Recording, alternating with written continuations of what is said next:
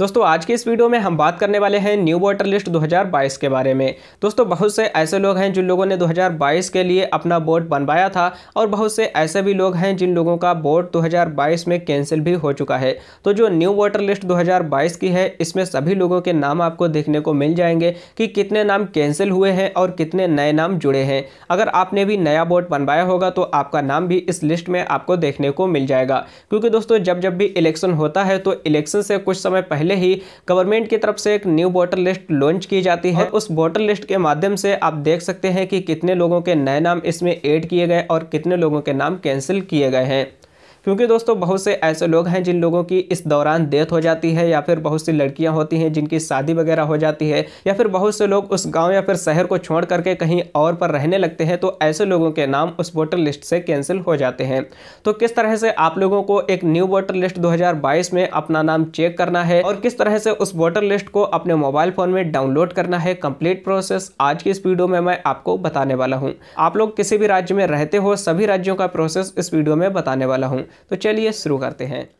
दोस्तों, वीडियो के description box में आपको एक लिंक मिलेगा, जैसे ही क्लिक करेंगे तो आप इस वेबसाइट पर आ जाएँगे। और यहाँ पर दोस्तों, मैंने वोटर लिस्ट को डाउनलोड करने का कंप्लीट प्रोसेस बताया है। तो सबसे नीचे की साइड में आपको इस वेबसाइट के आना है। यहाँ पर आपको एक पूरी टेबल देखने को मिल जाएगी। तो इसमें से आपको नीचे की साइड में वेबसाइट का लिंक भी देखने को मिल जाएगा। जैसे कि सबसे पहला लिंक है download voter list click here तो अगर आप उत्तर प्रदेश में रहते हैं तो आपको इस वाले ऑप्शन पर क्लिक कर देना है। अगर आप उत्तर प्रदेश के अलावा और स्टेट में रहते हैं तो आपको नीचे एक ऑप्शन दिया रहेगा all state voter list download तो आपको इस वाले ऑप्शन पर क्लिक करना है। जैसे ही क्लिक करेंगे तो आप इस वेबसाइट पर आ जाएँगे। यहाँ पर आपको एक ऑप्शन देखने को मिल जाएगा डाउनलोड इलेक्ट्रल रोल पीडीएफ तो इसी वाले ऑप्शन पर आपको एक बार क्लिक करना है। इसके बाद यहाँ पर आपको अपना राज्य सिलेक्ट करना है। सिलेक्ट वाले ऑप्शन पर क्लिक करेंगे। सभी राज्य आपके सामने यहाँ पर आ जाएँगे। यहाँ पर आपको उत्तर प्रदेश भी देखने को मिल जाएगा, लेकिन अगर आप उत्तर प्रदेश में रहते हैं तो इसके लिए मैंने एक अलग से वीडियो बना दी है। आप उस वीडियो को देख सकते हैं। फ़िलहाल दोस्तों, अगर आप उत्तर प्रदेश के अलावा और किसी भी राज्य में रहते हैं तो आपको अपना राज्य यहाँ पर सिलेक्ट कर लेना है। इसके बाद आपको गो वाले ऑप्शन पर एक बार क्लिक करना है। इसके बाद आपके सामने इस तरह की वेबसाइट आ जाएगी और सभी राज्यों की जो भी वेबसाइट होती है वो अलग अलग होती है। तो यहाँ पर आपको कुछ नीचे की साइड में आना है। यहाँ पर देखिए काफ़ी सारे ऑप्शंस दिए गए हैं।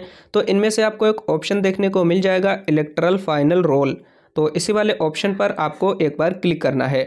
क्लिक करने के बाद सबसे पहले आपको अपना डिस्ट्रिक्ट सिलेक्ट कर लेना है, इसके बाद आपको असेंबली सिलेक्ट करना है, और इसके बाद आपको यहाँ पर पार्ट नंबर सिलेक्ट कर लेना है। यहाँ पर पहले से ही सिलेक्ट है, अगर आप चेंज करना चाहते हैं तो आपको चेंज कर लेना है।